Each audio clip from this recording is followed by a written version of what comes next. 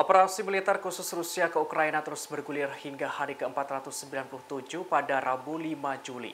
Mulai dari Presiden Ukraina Volodymyr Zelensky mencurigai Rusia tanam bahan peledak di PLTN Zaporizhia hingga formasi Rusia dihancurkan pasukan Ukraina. Dikutip dari Kompas.com pada Kamis 6 Juli, Presiden Zelensky kembali memperingatkan adanya rencana Rusia di PLTN Zaporizhia. Ia menerangkan Rusia mungkin berencana mensimulasikan serangan pembangkit listrik itu. Dilansir dari The Guardian, ia mengklaim bahwa pasukan Rusia menempatkan benda yang menyerupai bahan peledak di atap bangunan tersebut. Mengutip intelijen Ukraina, Zelensky mengungkapkan bahwa benda-benda itu ditempatkan di atap beberapa unit pembangkit listrik yang saat ini dipegang oleh Rusia.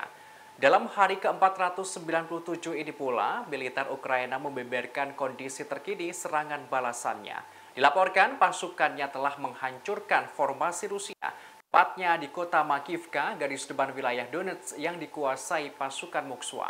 Angkatan bersenjata Ukraina menjelaskan tembakan unit-unit pasukan pertahanan cukup efektif mengobrak-abrik formasi Rusia.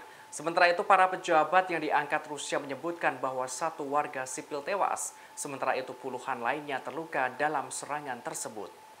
Terima kasih sudah nonton. Jangan lupa like, subscribe, dan share ya.